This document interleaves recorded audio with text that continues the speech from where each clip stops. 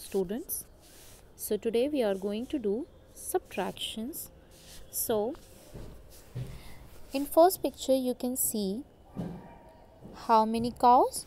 So let's count. One two three. Three cows. So total we have to write here how many cows we have? Three. So one of them she just left. So how many cow left? One so now how many cows are remaining? If we cut this cow so how many cows remaining? That is 2 let's go to the next one. We have one, two, three, four books.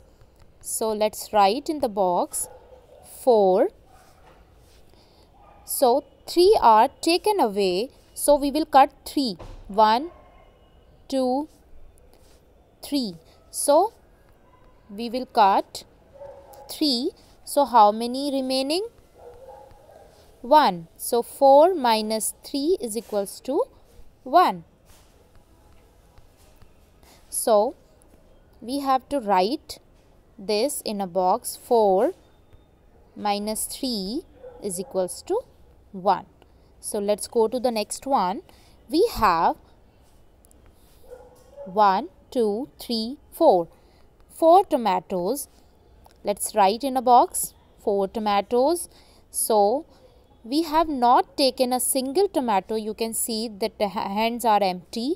So we have not taken, we have not taken means 0. So 0 tomatoes are taken away. So how many tomatoes left? 4. जब एक भी नहीं लिया तो answer क्या रहेगा उतने ही टमाटोज रहेंगे so now let's go to the next one thread role so how many we have one two three three rolls we have so first in the box we have to write three and afterwards they have taken two of the rolls so we will cut the first one, the second one. So how many left? 1. So if they have taken 2. So 3, 1, 2, 3. 2 have taken. So what is the remaining one? 1.